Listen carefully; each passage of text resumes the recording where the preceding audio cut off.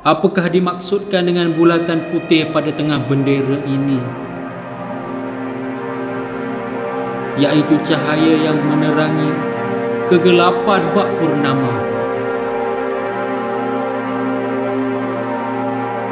Di sebalik sebuah bendera, terdapat kisah perjuangan anak bangsa demi agama Islam yang tercinta.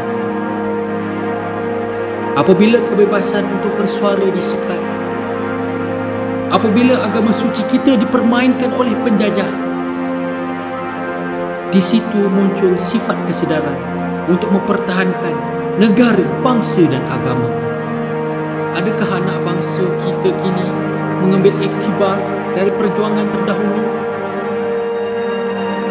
Seperti generasi dahulu yang tidak sanggup melihat agama kita dihina, sama sekali bangsa diperkecilkan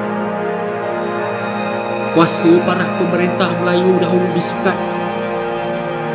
Wahal sedang dipijak di tanah sendiri. Bukan di tanah asal milik penjajah. Ini bukan soal keberanian. Ini adalah soal maruah bangsa, agama dan tanah air. Tidak dinafikan. Sudah menjadi adat seorang yang berjuang. Ada pejuang yang hidup. Ada juga pejuang yang pergi meninggalkan kita. Nyawa yang tidak disisikan begitu sahaja. Senyuman manis mereka sebelum pergi menggambarkan hati mereka yang rela berjuang hingga ke titisan darah yang terakhir. Dalam setiap perjuangan. Bantuan yang paling hebat adalah bantuan yang datang dari Yang Maha Esa. Hidup ini sementara. Jangan tinggalkan amalan agama. Ini adalah simbol perjuangan anak bangsa demi mempertahankan agama Islam yang tercinta ini. Harus kita bertanya pada diri sendiri. Adakah kita generasi kini merdekakan diri kita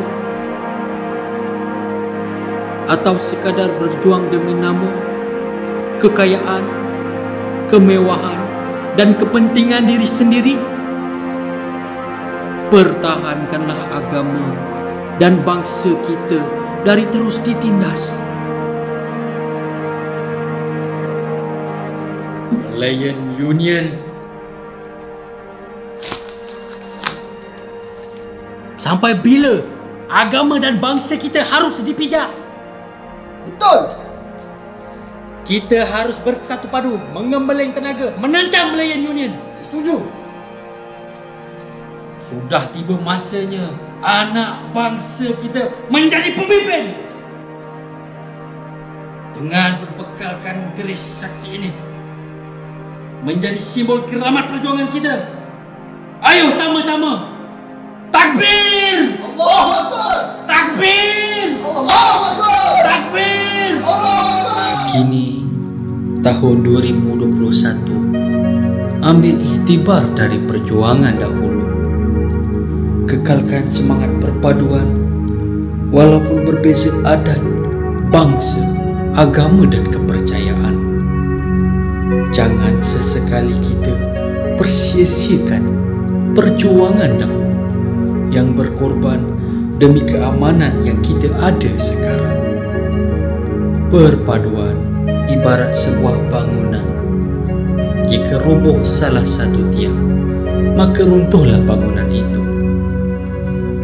Kemerdekaan yang kita sambut setiap 31 Ogos memupuk perpaduan dan mengeratkan hubungan kita bersama. Semaikan hubungan ini. Selamat merdeka, wahai anak Malaysia.